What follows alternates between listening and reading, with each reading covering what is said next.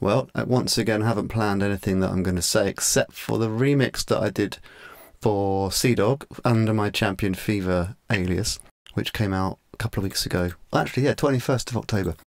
It came out on cassette, um, and the cassettes really like they sold out super fast. I think actually, to be honest, there's probably a couple left, but I haven't claimed one.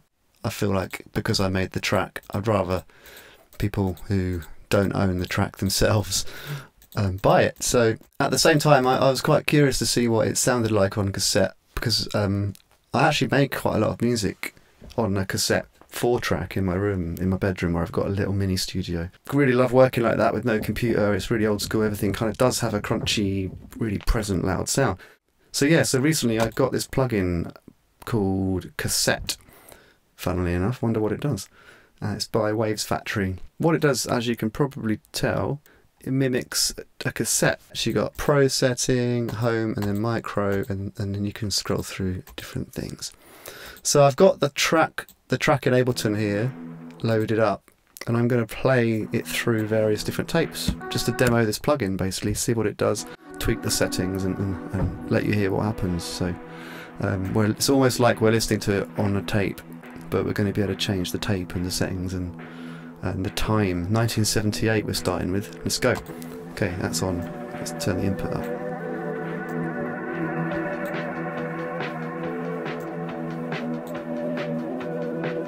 It's wobbly.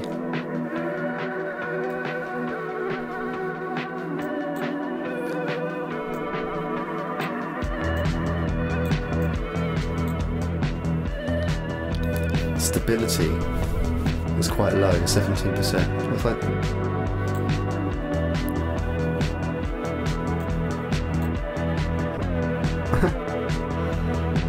there's little wobbles, there's little flutters. So under the under the uh, the hood, you've got settings here. Saturation. Re-cassette. I guess that's how many times the cassette has been re-recorded. Whoa. The flutter is that warbly thing again. I think. Oh no, maybe that's the wow. Wow depth, wow rate. I think flutter is the more the wobble. No, wow. That sounds wild, Rusty. Okay.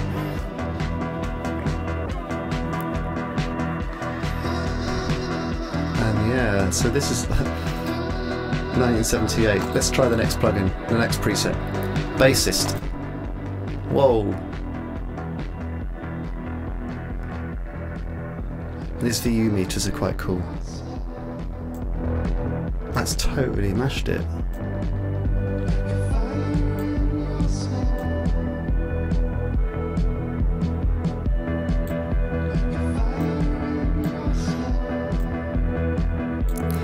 Can make it mono spread.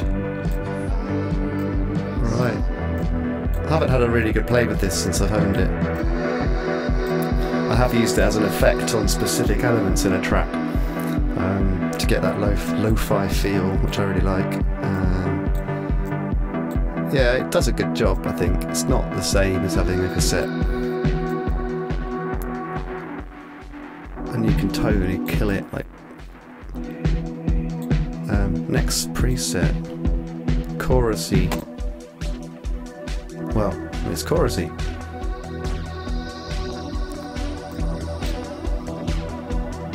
That could be really cool on synths and stuff.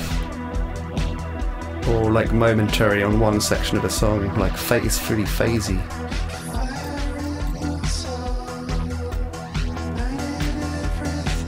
And yeah, the stability setting, so that's basically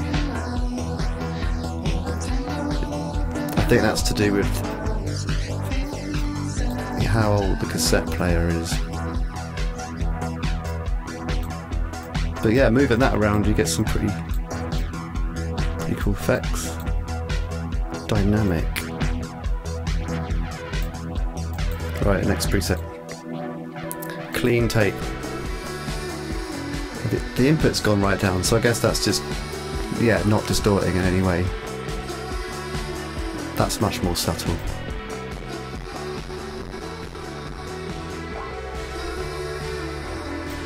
So you could put drums through this and really distort them.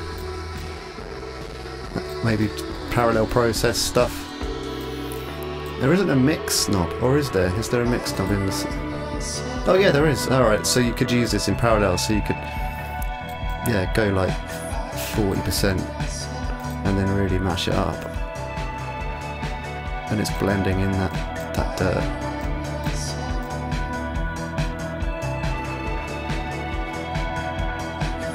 That's, that is quite subtle. But yeah. Next preset.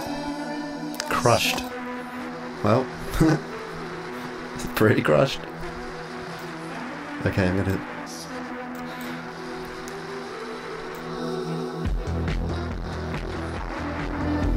Yeah, like these could you could like have that automated for one little bit, for example, like a transition or something. Like just have it going like, and then like you know back to clean. Well, that's noisy. Right, to start the track again. Um, so, factory little.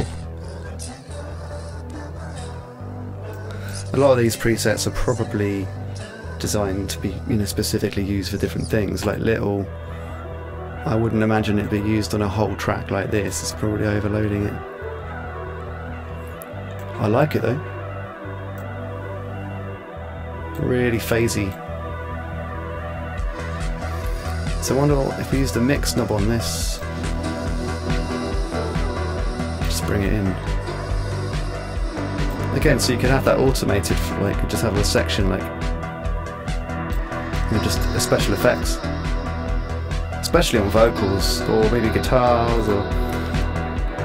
Yeah, I'm definitely going to try that out. Uh, factory. Next one, movement. Oh, mad. That's really cool. No idea what it's doing, what's the settings? So it's got some flutter. Azimuth, what's that? Something with the stereo mix. Ugh. On headphones, that's weird. So that's doing a load to boosting stuff like the mix But yeah, in the stereo field, that's really distorting the left and right bass. Oh, that could be really cool on bass and synths. So dry It's bringing in this widening thing. That's good. Into that. Old synth. That's definitely much more mono. It's like, oh yeah, the spread is. Um, that's pretty cool. I, am quite into having elements in a track that have been made mono that was stereo, or just putting things in mono for for a while. On a whole mix, it can just it's great for checking your mixes, making sure it works in mono or if you want it, if you're producing something that specifically needs to sound old and really crusty, then you could use that. Old synth. Right, there we go. So it's a micro cassette it's using. That could be great for little moments in vocals or, you know, snap that, have that kicking in just for, you know, like this is the track.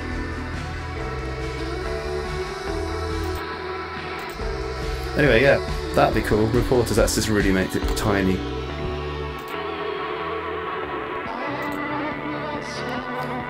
Tascam. So I've got a Tascam. Does it sound like this? Do you know what? I, I could probably pl play the, this remix through my Tascam and share it somewhere. I'll talk to the band. I like how it's written the name of the track on the on the tape though. Seadog Remix. It's pretty cool. So this is Tascam. And there's, I think, one more. Yeah, warm pad. Oh, that's nice. I like it. What's it like on the intro? Because the intro is really bright. So I guess it's taken off some of the top end. Stability randomness. So yeah, these are all like stuff you could automate, I guess, and you could have you could tweak away. So this is giving some distortion to the left and right. Whoa, yeah, smashing it up. But with the mix knob, you get this chorusy thing. That's pretty cool.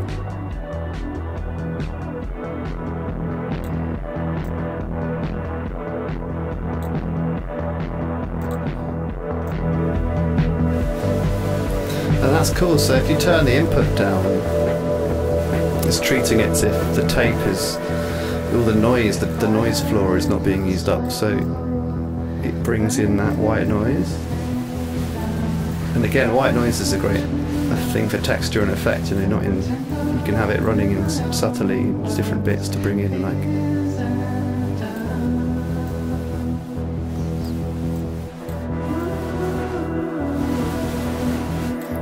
It's pretty cool. I like that.